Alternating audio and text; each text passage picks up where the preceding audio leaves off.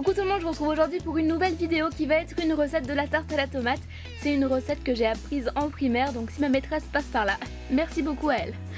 Alors il faudra un rouleau de pâte brisée, 5 tomates, une boule de mozzarella, 100 g de gruyère râpée, un peu de moutarde, de l'huile d'olive, du poivre et du basilic. Alors on va commencer par mettre le fond de tarte dans le moule à tarte en veillant à bien euh, la plaquer sur les bords en fait pour que ce soit plus pratique pour ensuite mettre les ingrédients dedans.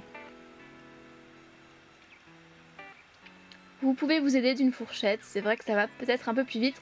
Ensuite, avec la fourchette, vous allez piquer la pâte.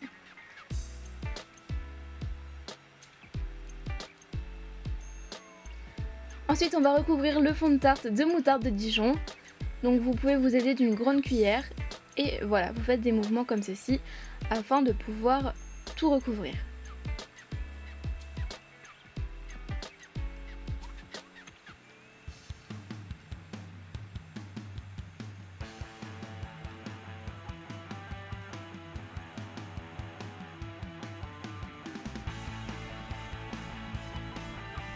Ensuite, on va parsemer le fond de tarte de gruyère râpée. Donc là, vous mettez 50 grammes environ, euh, enfin la moitié du paquet du début en fait. Donc vous parsemez bien partout.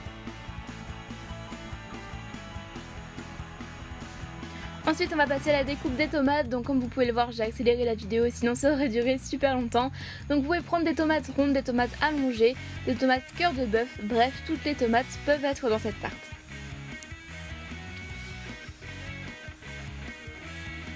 Peut-être même les tomates cerises, je sais pas.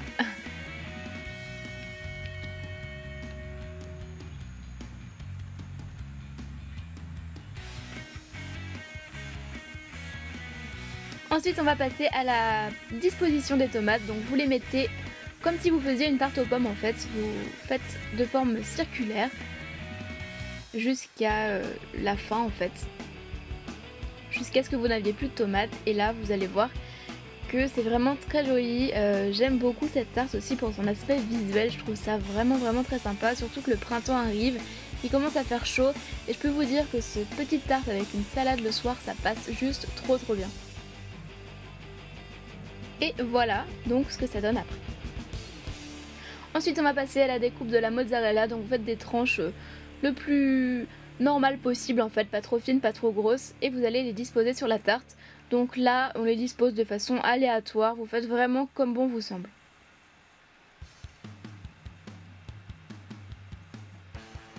Et pour les plus gourmands, on peut bien évidemment rajouter une boule de mozzarella en plus.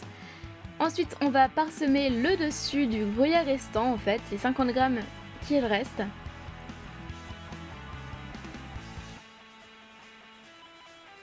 On va ajouter de l'huile d'olive un peu d'herbe de Provence, de basilic, un peu de poivre, un peu de sel. Et on met la pâte, euh, la pâte brisée, on va la rapporter sur les tomates en fait. De façon à ce que la pâte ne colle plus au moule en fait.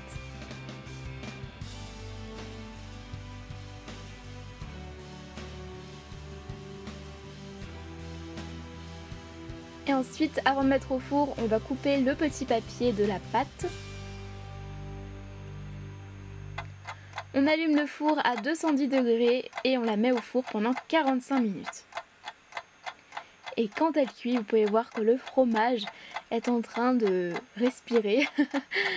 et voilà le résultat final de la tarte. Donc c'est vraiment super bon. Euh, j'adore vraiment cette recette. Voilà, j'espère que ça vous a plu. Je fais plein de gros bisous et je vous dis à très bientôt.